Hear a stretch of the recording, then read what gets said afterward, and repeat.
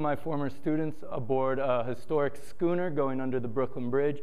I work at a maritime high school. Um, the school that I work at is called the Urban Assembly New York Harbor School. It's a maritime high school dedicated to all things um, marine, um, so you'll see some of those things. We do boat building. Um, this is, unfortunately, there are amazing pictures, but um, they're at school, and I didn't know I was doing this until Friday. So um, I found this on the web, but um, this is a teacher, Tizak Gomez, and a student drafting, um, doing blueprints for a boat, a Whitehall gig that they're going to build.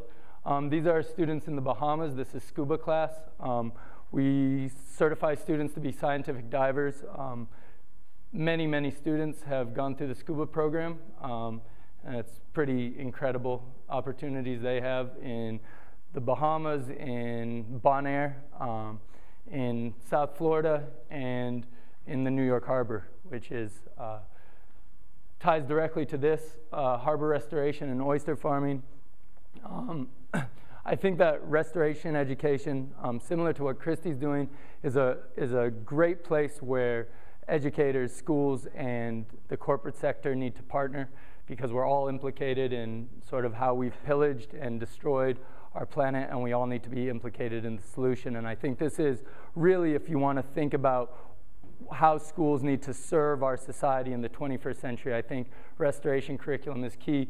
We are um, sort of the pioneers in a billion oyster project, um, replanting oysters into the New York Harbor. Um, oysters provide natural habitat for other um, marine, marine life. They also are natural water filters. So they, they work to clean the harbor. And, the, and um, this is at the crossroads of a lot of what we do at the Harbor School with our experiential education.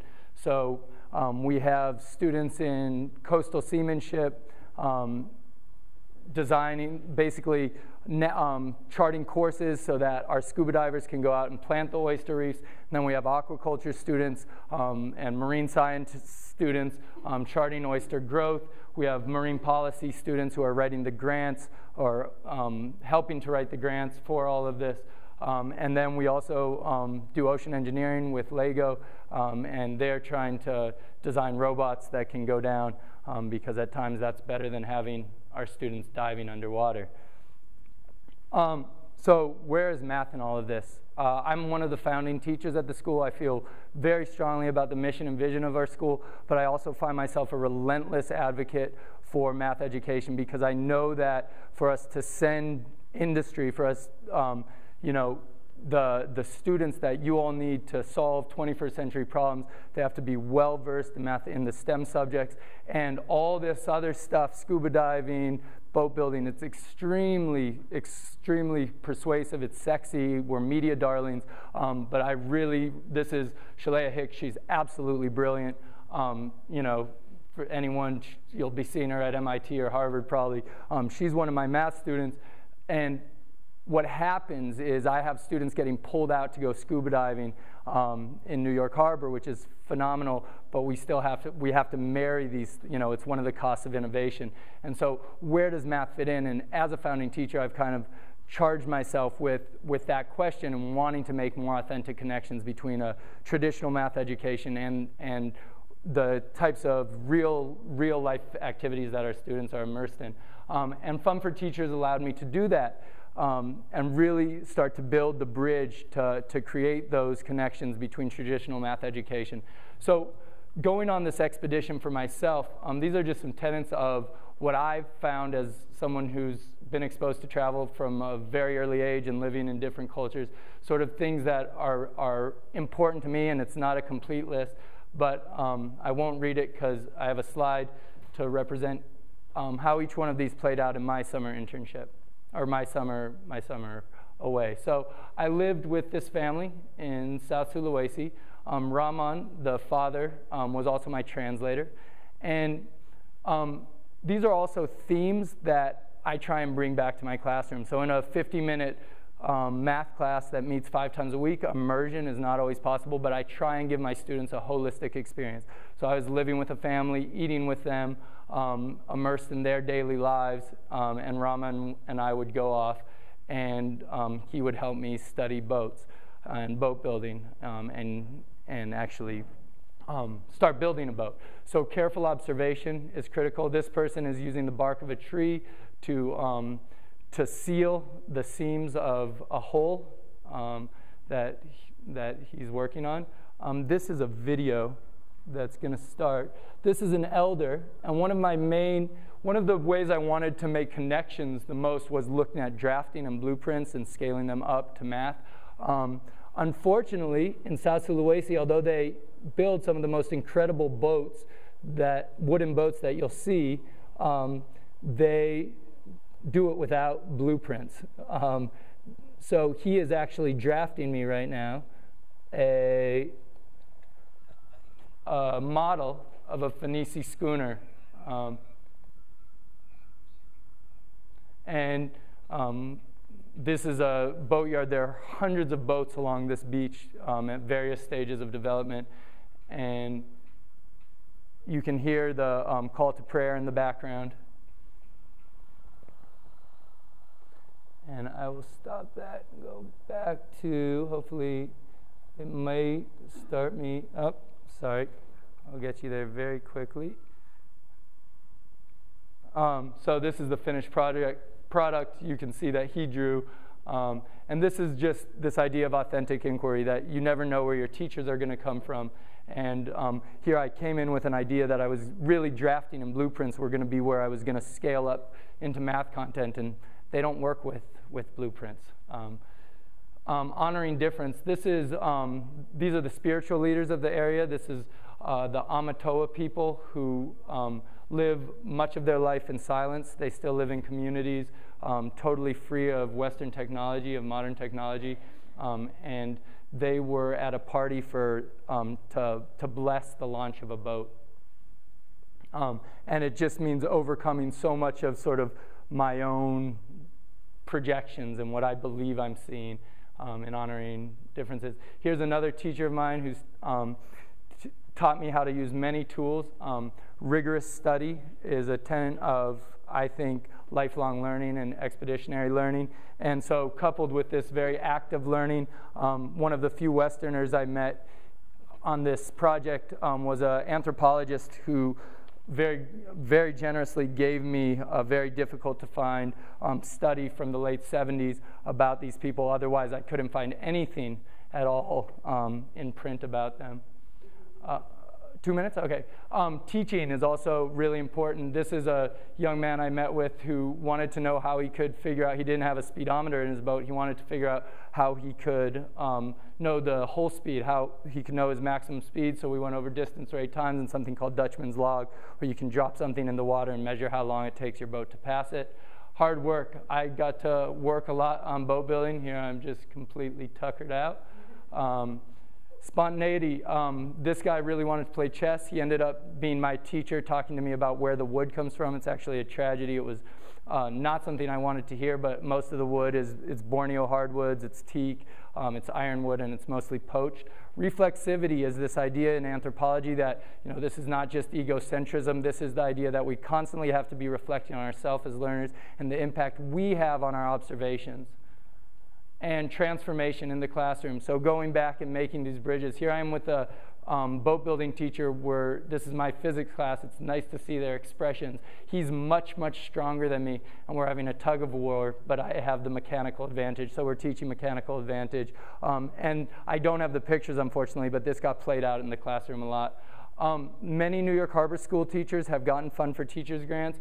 It has um, although our administration might not credit it, our boat building teacher studied traditional boats in Spain. Our scuba teacher got scuba certified to be a scuba instructor through his Fund for Teachers grant. We have art. We've had um, the history and English teacher last year did a collaborative work around um, the Marine Silk Road. So lots of stuff coming out of um, lots of interdisciplinary collaboration as a result of our participation here. And these are tough things to quantify um, on student and teacher achievement um, through the Fund for Teachers grant, but I think it's important for us to state them outright that I think that these experiences really add to um, well, I won't speak for any of you, to my retention in the field of education. If it weren't for opportunities like these, um, I probably would have gone back to grad school and got a PhD in physics. um, or that's kind of ambitious, but I would have at least thought about it. Uh, but but um, that, that was what I was thinking. I thought I was entering teaching for four or five years, and it's, it's through these kind of um, through these kind of experiences um, that we're retained and we're honored. And um, you can't underestimate the value of learning communities that are spawned from it. And I think this is a, a great example of that. So that's all. you were the grand finale. Yay. I'm really interested in this because our industry needs those divers. We need boat builders. We need people that understand maritime. Um, this is critical to our business. So I was really excited to see this, and I loved hearing about the uh, um, the oyster beds because that is such a huge issue in the Gulf of Mexico as well. And the Nature Conservancy is working along on that. So I was glad to see that. I love the concept of reflexivity. I'm going to make it a habitude. it is, seriously, is there any, where did you hear about that? Is that something you learned there? Or is that something that, how, how will you share that with kids? Warren? Just one example of perhaps, um, you showed, showed the physics side. Did it impact your math lessons and how did you integrate those with the other classes? Because it seemed like that was one of your goals. Dave? Hey, Johnny, one note a little bit here. I appreciate that last slide, and I'm just wondering as you look at your students' learning, um, do you sense a difference in how they solve problems, think about problems, how they actually achieve in your classroom based on the way you come back as a different teacher?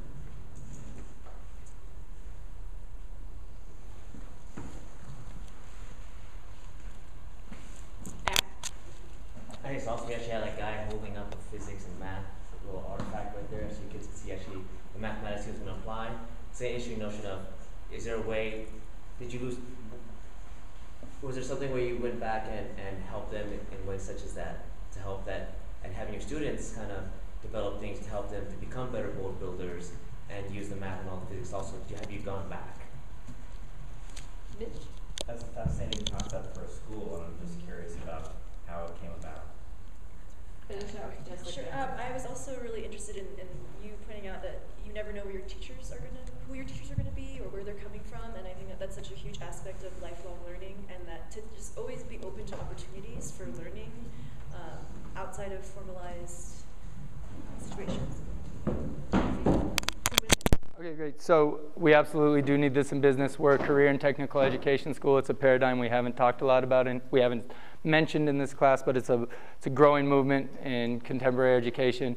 Um, so our students get certified and have an opportunity to get certified in a number of different areas, and um, a formal internship is part of it. And we do partner with business, we partner with shipping industries, we partner with environmental groups. Um, that kind of leads to where the concept came from. Um, the founder of the school, the person who had the initial idea, was uh, worked with Bobby Kennedy's Waterkeeper Alliance um, and was sort of had, which is charged with protecting water, their local water bodies, and it's all over the world.